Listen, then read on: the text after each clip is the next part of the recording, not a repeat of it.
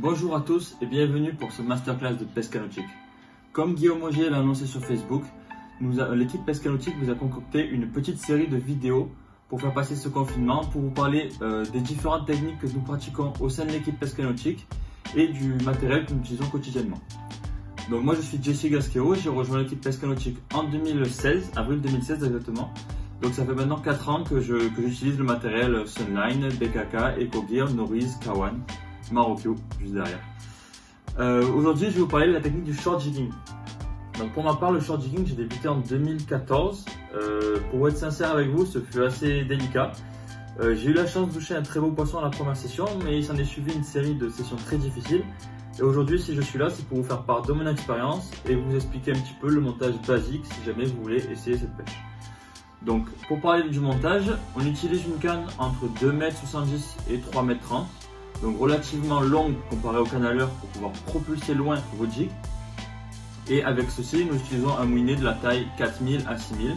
Donc ce qui est important, c'est d'avoir un ensemble homogène avec un poids relativement léger parce que c'est des pêches de longue durée qui sont assez physiques et un ensemble quand même solide parce que les poissons auxquels s'attaquent font entre 1 et 3 kg. Pour vous citer brièvement les poissons que nous attrapons régulièrement sur la façade méditerranéenne, ça va être essentiellement des poissons pélagiques, sévero, macro, bonite, tonine, voire même du thon parfois. Ensuite, ce sont des poissons euh, chasseurs, donc du loup, du barracuda, éventuellement du tassagal, parfois ça peut arriver. Euh, puis tous les poissons de fond, donc qui se tiennent à proximité du fond, comme tout ce qui est sparidé. Ça va être essentiellement denti et pagre, bien que mes amis arrivent à taper d'autres sparidés. Euh, puis euh, du limon, de la céréole, euh, éventuellement de la liche et puis les poissons de fond qui peuvent être un chapon par exemple ou un rouget grondin. Le, choix de, poissons, les, poissons auxquels vous pouvez accéder sont vraiment très diversifiés. Donc pour revenir au matériel, donc une canne relativement longue qui est pour propulser des jigs. Personnellement, j'utilise des jigs entre 60 et plus de 100 grammes. Donc ce sont des jigs, plutôt 60 grammes que 100 grammes, mais ça peut arriver de monter un peu dans les grammages. Ce sont donc des jigs relativement lourds qui nécessitent une puissance, une canne un peu puissante. Donc euh, je vous recommande pour commencer d'utiliser une canne d'une puissance de 20 à 80 grammes, c'est une bonne plage pour commencer. Puis éventuellement plus tard partir sur une canne plus puissante. Donc au niveau des jigs, il y a différents types de jigs. Là je vous en présente juste un pour que vous voyez à quoi ça correspond. Ça peut être les mêmes jigs que l'on utilise en bateau pour les pêches verticales, que ce soit slow jigging ou euh, pêche au jig vertical, mais aussi des jigs type casting jig que l'on peut envoyer sur les chasses par exemple. Donc, vous avez une canne de 3 mètres, un moulinet de taille 5000, un ensemble harmonieux. Qu'est-ce qu'on met dans le moulinet? On met de la tresse. J'ai ici différents types de tresses de la marque Sunline. Donc ici c'est de la Siglon. On a de la 4 et de la 8 brins. Le choix est propre à tous les pêcheurs. Certains préfèrent la 8, certains préfèrent la 4. De mon avis, je préfère la 4 pour le short jigging. Pourquoi?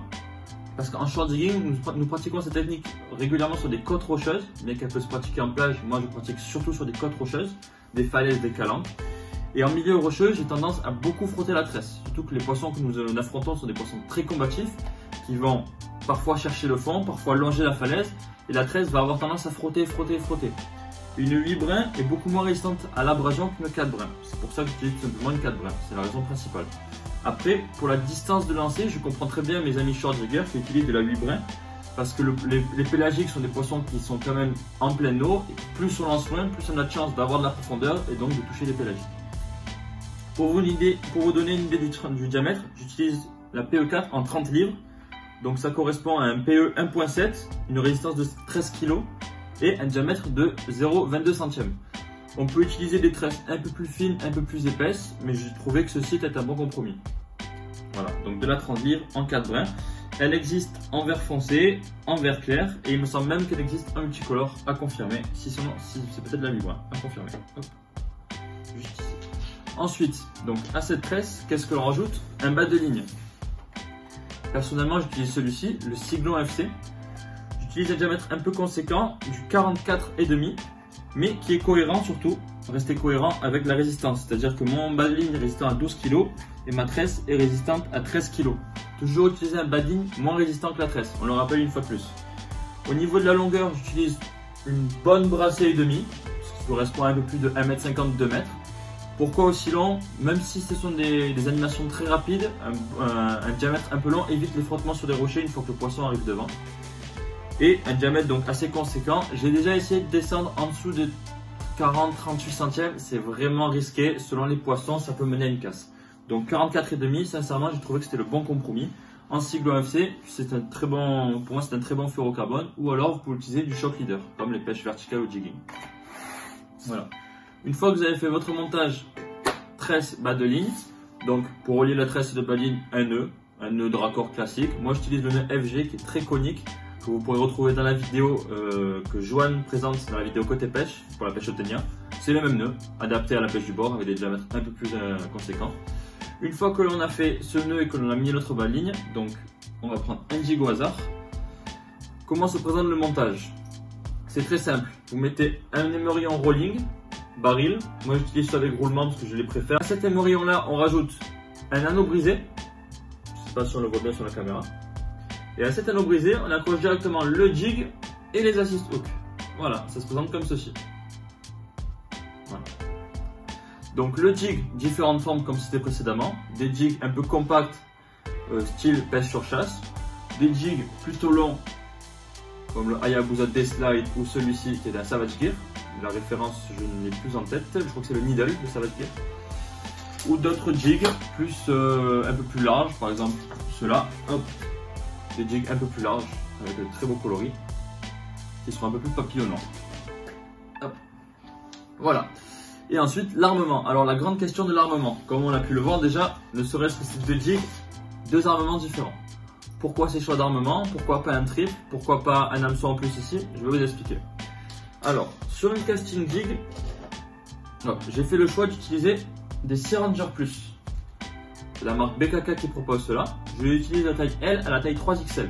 Donc là, vous avez la taille L et ici la taille 3XL. Une grande différence de taille. Quels sont les avantages de ces assist hooks Dans un premier temps, ils sont décalés, ils sont en quinconce. C'est-à-dire que sur votre jig, vous avez un, hameçon qui se retrouve au niveau de la tête et un hameçon beaucoup plus bas au niveau du corps. Donc ça sépare les deux. Si vous voulez que le poisson attaque vraiment la tête ou un peu plus en retrait, vous avez plus de chances à l'attraper. Ensuite, autre avantage, vous avez une tresse relativement rigide, vous voyez c'est assez important en short jigging parce qu'une tresse trop souple va avoir tendance à s'emmêler autour du baling sur des animations très énergiques. Autre avantage encore, le film brillant qui se retrouve sur le dos de l'hameçon, qui peut faire office de teaser, tout comme les petits fils brillants ici. Puis un hameçon qui a, un bon compromis entre résistance de fer et légèreté. Voilà. C'est pourquoi un de mes hameçons préférés pour le short jigging. Il m'arrive parfois, selon l'animation, de me séparer du film brillant qui peut en effet, euh, je trouve, euh, donner un côté un peu trop planant aux, aux hameçons. C'est-à-dire que sur les animations, si l'hameçon est trop planant, il peut avoir tendance à remonter dans le, dans Donc ça m'arrive parfois de me séparer de ces, de ces films, ou alors tout simplement d'utiliser la référence Short Patrol, qui est dépourvue de petits films en fait, comme sur ce jig. Le problème par contre que je trouve avec le Short Patrol, c'est que la taille s'arrête à la taille L ou XL il me semble. Vous ne trouverez pas de 3 XL. Donc c'est parfait pour les petits casting jigs comme ce TVLE, mais un peu petit pour les gros jigs si vous voulez. Voilà donc une première référence que j'utilise pour le short jigging. Une seconde référence, ça va être celle-ci. Pour le light jigging, le SF80, le SF8070 NP. Le nom est un petit peu barbare. Et c'est un hameçon donc qui est un, un hameçon simple, un seul assist hook, qui peut être utilisé soit tout seul, soit par paire en fait. Vous voyez, comme, comme ceci. Personnellement, ce que j'aime bien avec cet hameçon, c'est qu'il n'est pas monté sur... Euh, il est libre en fait, si vous voulez. Vous pouvez l'accrocher à un anneau brisé, vous pouvez l'accrocher euh, en queue directement sur un, sur un jig. Vous pouvez l'accrocher à un anneau soudé, vous faites comme vous voulez. Moi, j'aime bien le raccrocher à un anneau soudé, comme ceci, et faire un petit nœud en haut. Mais ce n'est pas obligatoire, vous pouvez faire ce que vous voulez avec. Comme je en short jigging, j'utilise des anneaux brisés, je préfère utiliser des anneaux soudés en plus quand même pour éviter que la, tresse, en tournant sur l'anneau brisé, euh, s'abîme et puis, et puis casser au long terme.